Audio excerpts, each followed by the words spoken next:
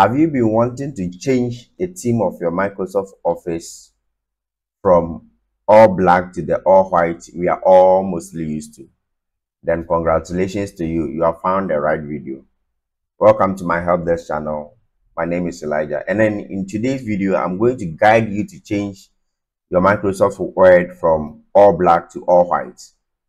So what you want to do is uh, as you have your Microsoft Word open, you click on the file on your upper left corner of your screen.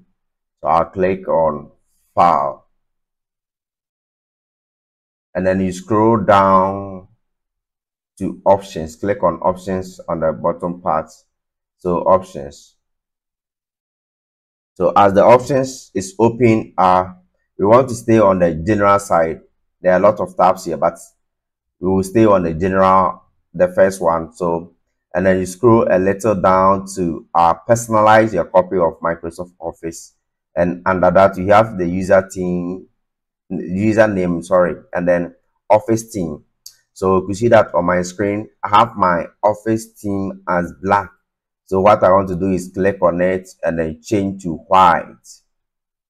So you have to click, if yours is black, you click on it and change it to white. After that, you click on OK here so once I click on the OK, it's going to change back to white. So OK. And now I have the all white that most of us are used to instead of the all black. Okay, thank you for watching. If you find this video helpful, don't forget to like, subscribe, and hit the notification bell for more tech tutorials.